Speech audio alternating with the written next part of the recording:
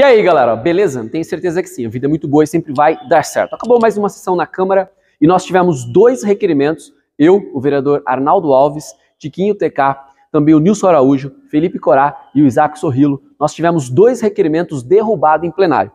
Esses dois requerimentos versavam sobre convites para que o secretário de Meio Ambiente viesse à Câmara Municipal explicar o que está acontecendo no aterro sanitário e também para a secretária de Educação explicar o que houve em relação à empresa nativa e como está sendo essa transição. Os dois requerimentos foram derrubados. Nós estamos protocolando hoje novamente os dois convites para que nós tenhamos na próxima terça-feira uma conversa com os vereadores para que possam aprovar esses requerimentos e nós termos essas duas autoridades aqui para dar explicações não para os vereadores, mas sim para o povo.